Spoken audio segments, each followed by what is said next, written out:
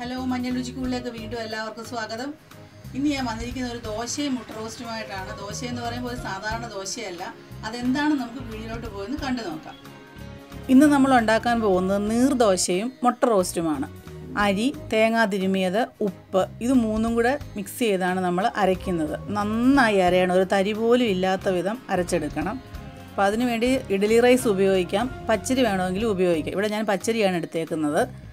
അപ്പോൾ തലേ ദിവസമേ നമ്മൾ പച്ചരി വെള്ളത്തിൽ കൂത്ത് വെക്കണം. അല്ലെങ്കിൽ ഒരു നാല് മണിക്കൂറെങ്കിലും അത് വെള്ളത്തിൽ കൂത്തതിന് ശേഷം മാത്രമേ അരയ്ക്കാൻ പാടുള്ളൂ.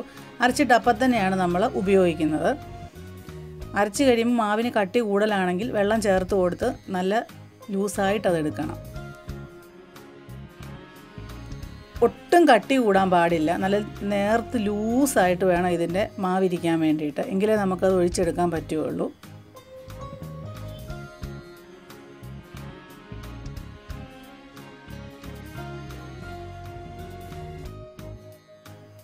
ഇനി ദോശക്കൽ അടുപ്പത്ത് വെച്ച് ഇതൊന്നൊഴിക്കാം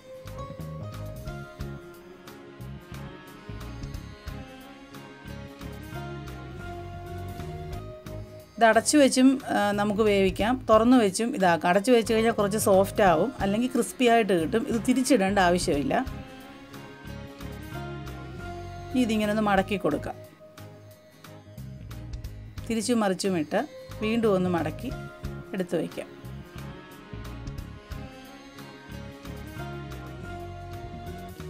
ഈ മുട്ട റോസ്റ്റ് എങ്ങനെയാണ് ഉണ്ടാക്കുന്നത് നോക്കാം. അതിന് എന്തൊക്കെ വേണമെന്ന് നോക്കാം. പച്ചമുളക് തക്കാളിപ്പഴം കറിവേപ്പില ഇഞ്ചി സവാള ഉപ്പ് പുഴുങ്ങിയ മുട്ട വെളിച്ചെണ്ണ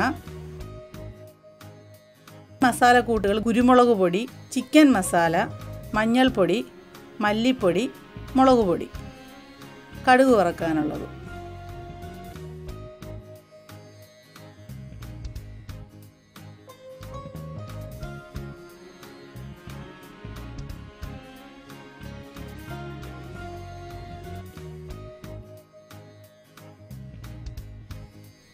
മുട്ട റോസ്റ്റ് ഉണ്ടാക്കിയെടുക്കാം. ചീനച്ചട്ടി അടുപ്പത്ത് വെച്ച് വെളിച്ചെണ്ണ ഒഴിക്കുക. വെളിച്ചെണ്ണ ചൂടാകുമ്പോൾ കടു വറക്കാനുള്ളത് ഇട്ട് കൊടുക്കാം. കറിവേപ്പിലയോട് ഇട്ട് കൊടുക്കാം. ഇഞ്ചിയും കൂടി ഇട്ട് നമ്മൾ നന്നായി അതൊന്ന് മൂപ്പിച്ചെടുക്കണം. അരിഞ്ഞു വെച്ച പച്ചമുളക് ഇട്ട് കൊടുക്കാം. അതും ഒന്ന് ഇളക്കി ഒന്ന് മൂത്തതിന് ശേഷം സവാള ഇട്ട് കൊടുക്കാം. സവാള ഇട്ട് കഴിഞ്ഞാൽ അല്പം ഉപ്പൂടി ഇട്ട് കൊടുക്കുകയാണെങ്കിൽ പെട്ടെന്നൊന്ന് വഴന്ന് കിട്ടും അത്.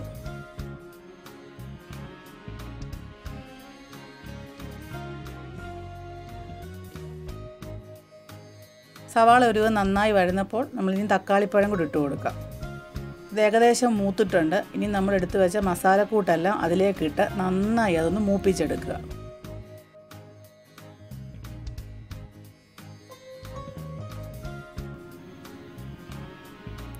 മൂത്തിട്ടുണ്ട്. ഇനി അല്പം വെള്ളം ഒഴിച്ച് അതൊന്ന് വേവിക്കാം. വെള്ളം മിക്സ് ചെയ്തതിന് ശേഷം മുട്ട അതിന് മുകളിലേക്ക് നമുക്ക് പറക്കി വയ്ക്കാം. മുട്ട ഇട്ടതിന് ശേഷം അധികം ഇളക്കാൻ പാടില്ല അത് പൊടിഞ്ഞു പോകും.